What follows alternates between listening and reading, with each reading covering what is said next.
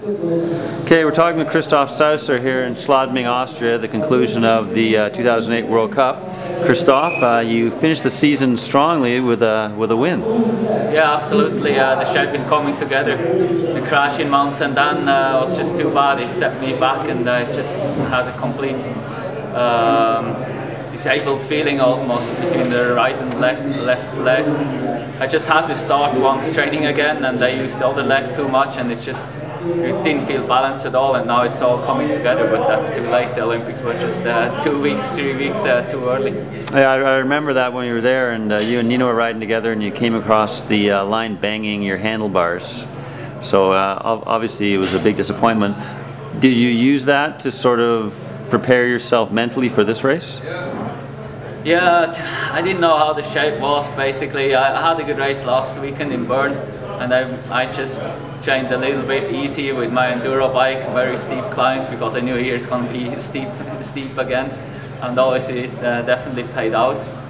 And uh, when I went on the rollers today, I just feel like, man, uh, yeah, let's let's do it, and just you know, it's the last race, the last real race of the season, and uh, that's going to be you take that all winter long, and you you know you're still on top, even yeah the results weren't that, that super yeah. the last uh, few weeks. Talk a little bit about the race. I mean, it came down to you and Jose, and then we could see, um, I guess, starting the last lap, uh, looked like you attacked him just just before the start. Yeah, already with a lap and a half to go, I made a bit of a gap on him on the top of the of the steepest climb, but he came back again uh, through the through the town, and then I opened here into into the finish, that uh, downhill. I just was like uh, when I was a skier, took every flip and pull with my shoulders, and I made probably five, ten seconds, and I just went sprinted through the whole tech zone, through the flat, because I didn't want to have him on my wheel again for the uphills, and then I just made seconds by second, but really very slowly. I was a bit faster than him, and uh, then last, last half lap I knew I was gonna make it. Yeah. It's been an up and down season for you. On the one hand, you won the world title, which you've been looking for for a long time. Um, in the marathon worlds, you were sprinting and had the uh, crash with Roel Paulissen, and and the ruling was that they gave it to Roel.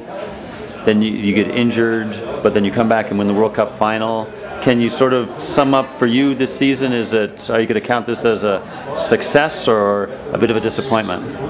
Yeah, it's really weird. I uh, I won the biggest race for me, the biggest I've ever won, but still I can't be happy at all or at all, like not completely because yeah, with the Olympics it was just two seconds of, of bronze medal and also the marathon world champs. I mean, uh, I really want to have that double, and I still think, uh, or it's, it's, always, you know, that that title just got, got away, took away of me from the UCI, and uh, yeah, it's it's just kind of bittersweet feeling overall. Okay. Well, I mean, at least as, as you said, you can go into the go into the fall now and remember um, winning this final race and hopefully motivate for uh, next season. Yeah, absolutely. Uh, it's the second or third time I win the, the final of the season and that gives you a very good feeling and a good motivation again to train in the winter. I'm looking forward to do the Cactus Cup. That's uh, and this year. That's nice holiday racing. Still keep in shape a bit, have some excitement, and uh, yeah, I'll also do some uh, holidays at Lake Tahoe after the Interbike. Good. Well, thanks very much. You're welcome.